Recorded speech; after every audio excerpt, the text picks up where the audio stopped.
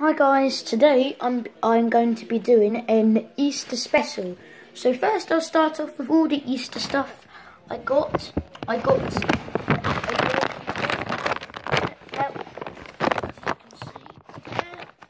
and I got a footy fan, a, a dinosaur, dairy milk, or oh,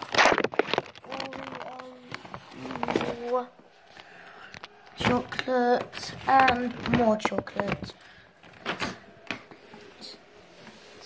Uh, and I'll be showing you my my back garden. Not very exciting. And here's my Easter basket that I made at school. I hope you enjoyed my my Easter special and subscribe for more videos. Bye.